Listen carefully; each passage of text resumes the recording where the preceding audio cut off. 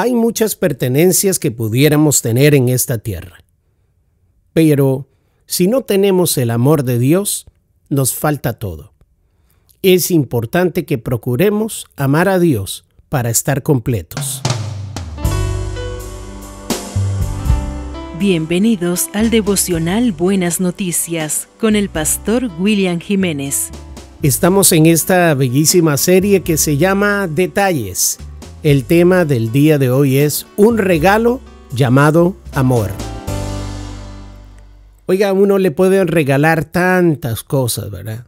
A veces cuando estás pasándote de casa y abres ahí esas cajas que tienes en tus bodegas y empiezas a encontrar diferentes cosas y dices, mira, esto me lo regaló tal persona y tal esto. Pero no sé si te ha pasado que te has encontrado en el baúl de tus recuerdos regalos de personas con las cuales ya no tienes una buena relación?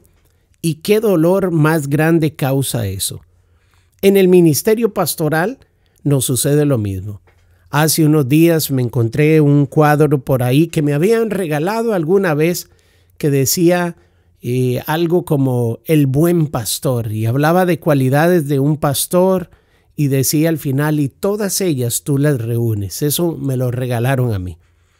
Lamentablemente la persona que me lo regaló, eh, pues ha dicho muchas cosas malas acerca de nosotros, sin ningún fundamento, simplemente se fueron de la iglesia, se llenaron de rencor y dijeron cosas.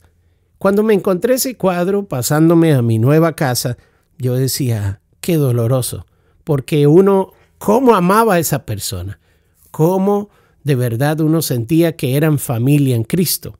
Pues bueno, la Biblia dice que podemos tener muchas cosas, dice en Primera de Corintios, si tuviere la profecía y entendiere los misterios y el conocimiento y si tuviere toda la fe para trasladar montañas, pero si no tengo amor, nada soy. Primera de Corintios 13:12.